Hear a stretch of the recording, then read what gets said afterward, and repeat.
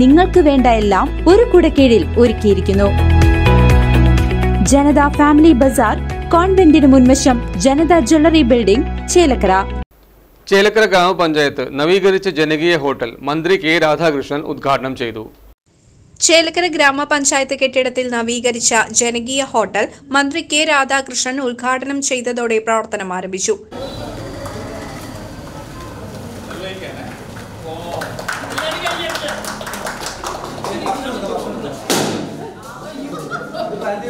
ഈ ജനകീയ വോട്ടിന്റെ ഒരു കാര്യം ചെയ്യണം നമ്മളിപ്പോൾ നമ്മുടെ ഈ മണ്ഡലത്തിൽ ഇനി അതിദാരിദ്ര്യമുള്ള ആളുകളുടെ എണ്ണം എത്രയെന്നറിയും അല്ല അതല്ല ഈ നമ്മുടെ ഈ മണ്ഡലത്തിൽ നമ്മുടെ ഈ പഞ്ചായത്തിൽ എത്രയെന്നറിയാം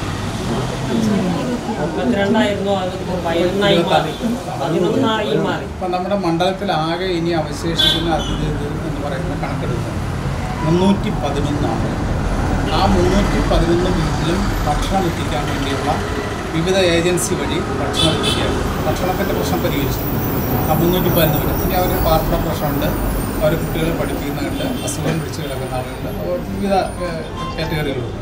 അതുകൂടി പരിഹരിച്ചു കഴിഞ്ഞാൽ മുന്നൂറ്റി പതിനൊന്ന് പേരെ കൂടി അതിദാരിദ്ര്യം മോചിപ്പിച്ചു കഴിഞ്ഞാൽ നമ്മുടെ ഈ പഞ്ചായത്തല്ല നമ്മുടെ ഈ മണ്ഡലമാകെ അതിദരിദ്രമില്ലാത്ത മണ്ഡലമായിട്ട് നമുക്ക് അതിവേഗം അപ്പം അതുകൂടി ഒന്ന് ശ്രദ്ധിക്കണം ഒരാൾക്ക് രണ്ടാൾക്ക് ഇടയിലും ആദ്യം കൊടുക്കാമെന്നുണ്ടെങ്കിൽ അത് നോക്കിയിട്ട് ഭക്ഷണം എത്തിച്ചു. നമ്മുടെ ഏജൻസികൾ സഹായിക്കുന്നുണ്ട് അങ്ങനെ വന്നു കഴിഞ്ഞാൽ ഭക്ഷണമില്ല കിട്ടാത്ത ഒരാൾ പോലും നമ്മുടെ പഞ്ചായത്തിലോ നമ്മുടെ പ്രദേശത്തോ ഇല്ല എന്ന് ഉറപ്പുവരുത്താം നല്ലതല്ലേ?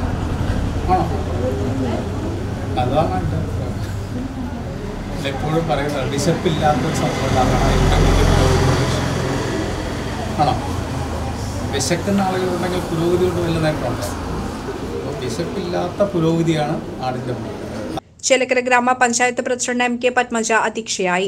വൈസ് പ്രസിഡന്റ് ഷെലീൽ ക്ഷേമകാര്യ standing committee chairman Ellissery Viswanathan C D S chairperson Shobhana Thankappan panchayat secretary M Jayalakshmi എന്നിവർ ഉദ്ഘാടന ചടങ്ങിൽ സന്നിഹിതരായിരുന്നു.